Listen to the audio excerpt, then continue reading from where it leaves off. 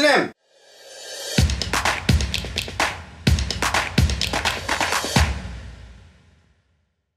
どうもこんにちは、篠原です。今回はね、あの、高校2年生に向けて、あと1年でどれだけ伸びるのかということについて話したいと思います。えー、篠原はね、えーこれまで高校2年生に、えー高3生が醜く勉強してる様を見とけというような話をしてきました。で、実際ね、まあ今年のセンター難しかったんで、えーそれでボコボコにやられた高校、まあ3年生の1個上の先輩たちを見て、あ、もうこれはあかんなと。自分も来年こうなるんだったらもうちょっと気をつけようというふうに思ったところもあると思うし、まあ、あの、じゃあ、あこれから1年間頑張っていこうと思ったところもあると思うんですけど、そもそも、じゃあ1年間でどれだけ伸びるのかということについて話します。で、えまずですね、篠原のこれまで伸ばしてきた例で言うと、こちらですね。えーこのお塾生、俺が直接教えてる塾生ですが、こんな感じで成績が上がっています。なんだけれども、あ、なるほどと。まあ、篠原3ヶ月で偏差値10上げるって言ってると。じゃあ、これからまあ1年間あるから、えー3ヶ月が4回あるから、40上がるのか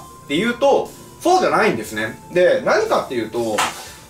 夏休み、この辺から過去問演習をある程度しないといけません。ここから過去問演習をしないといけないです。しかも、えーさらにですね、この12月ぐらいから、ここで共通テストの対策をしないといけないんですね。まあ結構忙しいと。で、さらにさっき挙げたら、まあ彼はね、部活やってる人だし、うちの塾生部活やってるやつの方が実は成績上げてるんですけど、あの、この辺までね、部活があるよっていう人も結構多いんですよ。っていうことで、まあ、そんなに暇じゃないんですね。えー特に野球部だと、まあ甲子園とか行っちゃったら8月またいだりとか、まあサッカー部とかも10月までありますとかね。えーまあもちろん6月ぐらいで終わる人もいますが、まあこんな感じでね、部活がありの、2次がありの、共通テスト対策がありので、あ、そんなに暇じゃないんですね。で、しかも、ここから、まあ言ったらその1個上の浪人生ですね。まあ今の高3生、である浪人生が一緒に勝負にかかってくるということで、結構ね、高校3年生で成績を上げるのはきついです。えー基本的に高校2年生とかの方が成績は上がります。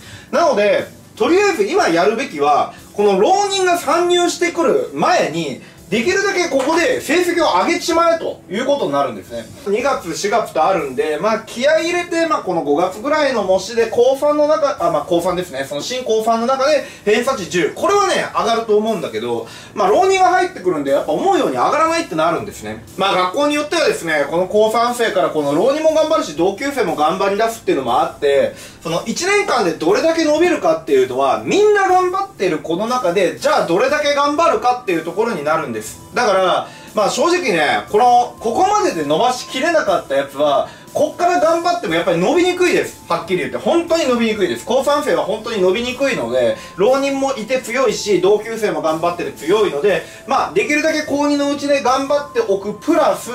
こっからじゃあいかに要領よく効果的な勉強をしていくのかということが必要になっていきます。で、じゃあ、このタイトルの話ですね。じゃあ分かったと。えーそういう状況なの分かったけど、じゃあ結局1年でどれだけ伸びるのかなんですが、基本的には偏差値で言うと、えー10ですね。偏差値で言うところの10上は狙います。これは OK です。可能ですが、20上ってなると、ちょっとどうかなと思います。で、こっからここの間は、まあ、根性次第というのが基本的なところです。まあ、もちろんね、これ例えば、偏差値今60あるっていう人が70の大学目指すのって大変なんですよね。でも、今偏差値が30しかないですっていう人が40の大学行くのは、まあ、比較的簡単なんですよ。っていうのもあって、まあ、これがね、その、まあ、一概にその10上だからまあゴーサインが出るか、えー20上だから NG かっていうと、まあ、ちょっとこれ一概には言えないんですが、まあ、10はあ基本的に上を狙ってもいい。だから、とりあえず今、あ志望校悩んでると、できるだけいいとこ行きたいなと思ってるけれども、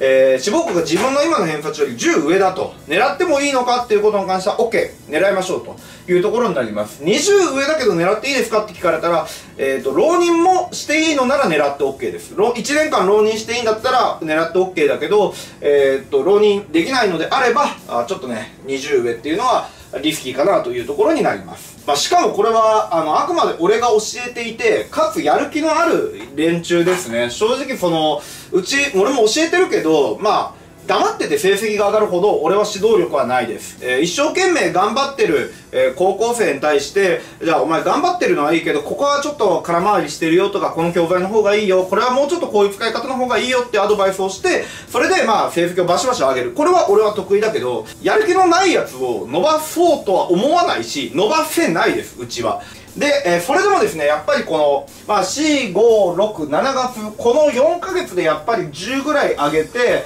あとは、えー、ここで過去問対策とか、共通テスト対策と、あと基本事項の復習とかね、やって共通テスト及び2次に突っ込むっていう風になるので、高校2年生ね、あと10上だったら狙っていいけど、20上ってなるとちょっとリスキーかなというところが結論になります。はい、えー、ということでね、1年間どれだけ伸びるのかということについては一応偏差値で10だったら上がりますと、20って言われたらちょっときちいというところになりますということでした。えー、ただね、まあこれはあくまで一般論です。こんな一般論ねじ伏せてやるぜ。そういう気合が入ってる人の方が俺は好き。20上だけど関係ねえ。狙ってる。絶対受かってやるぜっていう気合。その気合が俺は欲しいしそしてその気合を実際の実行の中で勉強に移していってほしいと。いうのがまあ俺の意見です。口先だけのやつが一番かっこ悪いからね。今回のはこれで以上です。副市長お疲れ様でした。